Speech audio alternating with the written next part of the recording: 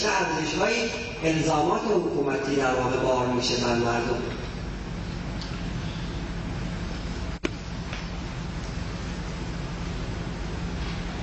بحث یعنی من نمی‌دونم که باید این مطلب رو بیشتر بشناسیم یا نباید بشناسیم کفایت بکنه این مقدار.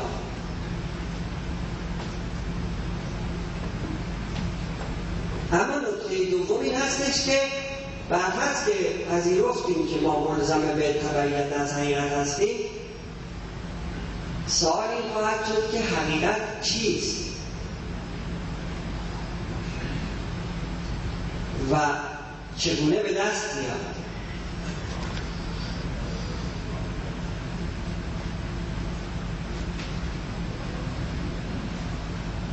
در بحث قبلی مسئله این هستش که کمال و سعادت چیست و ما دنبال چه باید باشیم و چه چیزی باید در حیات تقدم بدیم تا کمالات خودمون رو یا آنچه که هدف قرار میدیم برای خودمون بهش دست پیدا کنیم.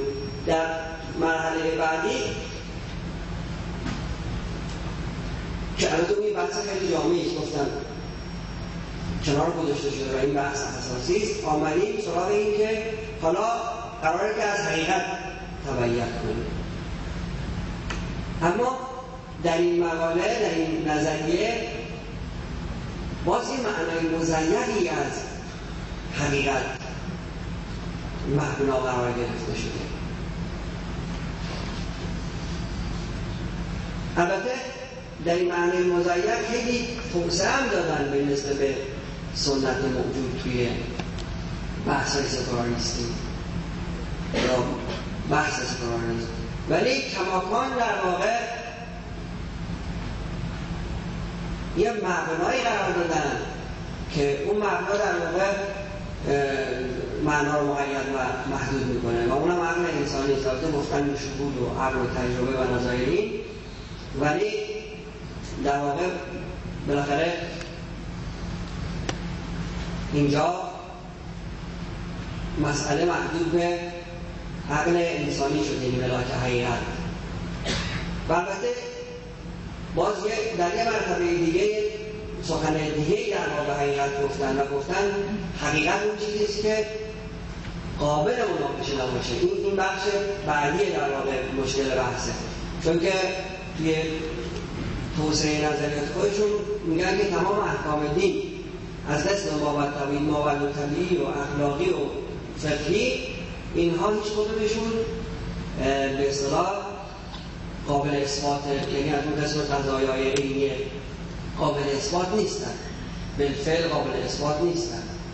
در دلیلش رو توی مقاله گفتم می‌دونم که شما حتی مثلا گزاره خود را اصلا در نظر بگیرید همین گزاره هم غیر قابل مناقشه نیست. شما کم مثلا دیدید که مناقشه کرده باشن در باب این مسئله.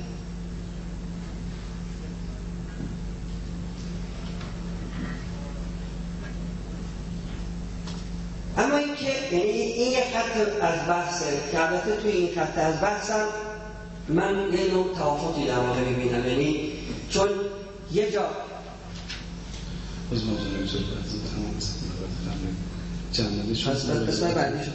حالا همین همین من همین بحث نهایی رو من فقط بگم. یه جا ظاهرا اینجا به نظر می‌رسه که مقاله برای رو برای این گذاشته که نزاع در قضیه سکولاریسم و غیر سکولاریسم این هستش که ما حقیقت رو نمی‌تونیم پیدا کنیم.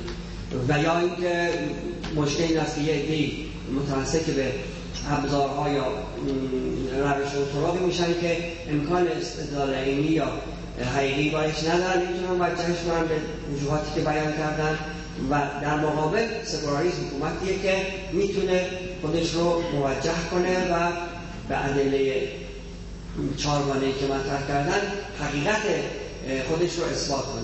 ولی در که گفتم که این واقعا بحث بیرون از بحث سکولاریسم چون در بحث سکولاریسم در یک سکولاریسم صورت خاصی داره که در قرن 19